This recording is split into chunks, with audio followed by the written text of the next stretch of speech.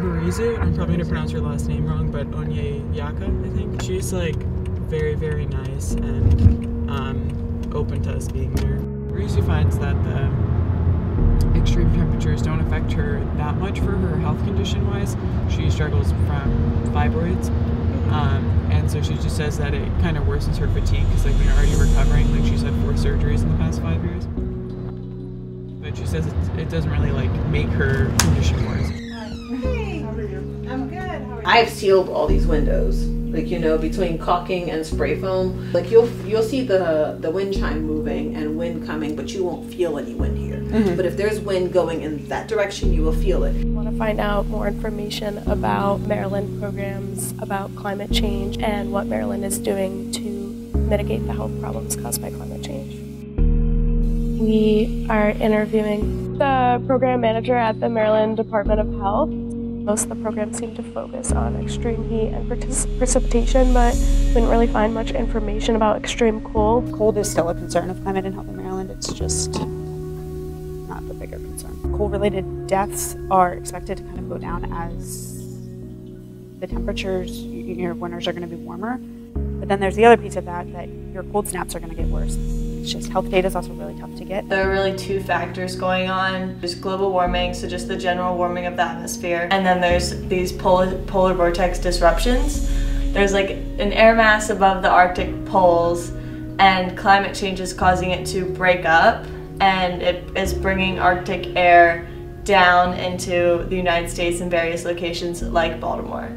These disruptions are causing cold snaps in the winter months. So the addition as a whole, is it like entirely not insulated?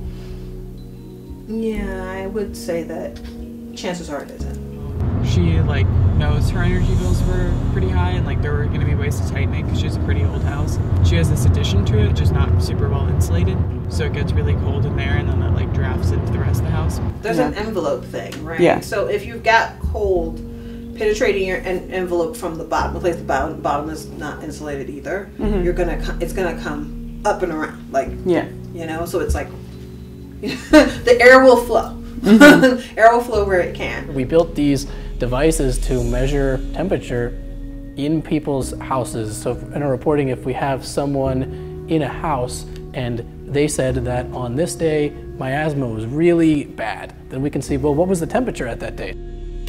So you take out of here. We go and we find a place in the house that um, would be good for a sensor. An example that would be like some place that's like, you know, hopefully like shoulders are above for humans.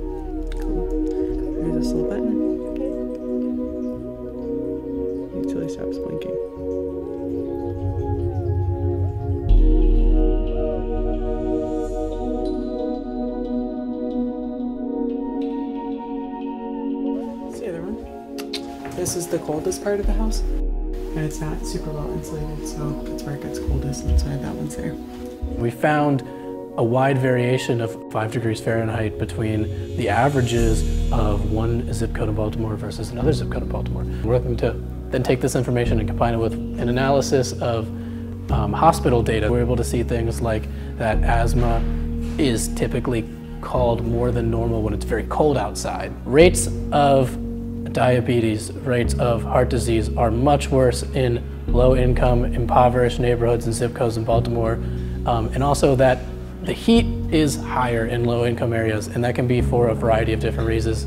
It's what the buildings are made of, it's how condensed the buildings are, but in the more wealthy neighborhoods, typically the houses are more spread out, there's more um, grass, there's more trees.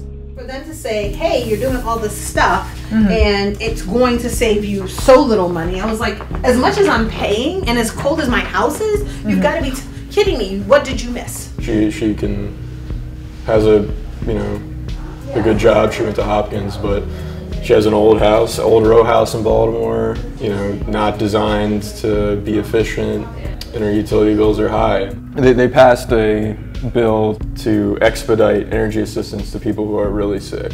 That isn't really happening to the extent that it should be with the general low-income population. Making the backside of the house more insulated was not specifically detailed on here, but something you would ideally want to do. Definitely, definitely doing the kitchen. Mm-hmm. Definitely rewrapping the house on that side. I don't care what it costs. It's Yeah. happening. Yeah.